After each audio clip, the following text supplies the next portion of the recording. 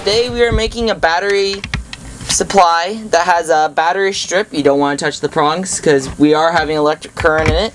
Replacing a 9 volt battery. So in devices that might not necessarily use a lot of power, but you don't want to be using a battery, you can use this.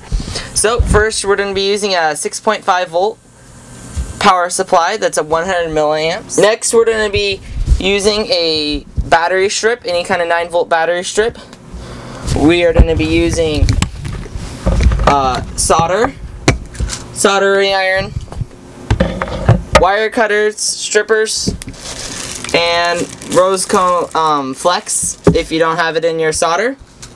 So, the first thing we're going to do is we're going to take the power supply, have that plugged in, take your ohm meter, be careful not to make sure the they don't you don't have the two wires connection, and we're having negative 8.37 volts, so it's just under 9 volts, just what we need. And it's negative because I'm doing it backwards, so we're going to cut it off a little bit um, using the wire cutters, we're going to be cutting it up back just a little bit, so if we ever need to use the connector, we're to cut that off. Just use your fingernails, or if you can't get it, use a knife.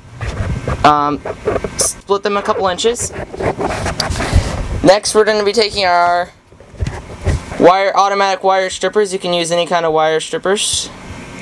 Twist them together, and we, we reverse the current, so the one where the red is, that's supposed to be getting positive and we put negative there because when you're put this is pretending to be a battery so that wouldn't work and then we just slip the you put the heat shrink on before you put the wire on and you slip the heat shrink over it after you solder or use these crimps you'll you'll drill a little tiny hole on the side so you can slip these wires in. And this is not waterproof. You want to plug this in before?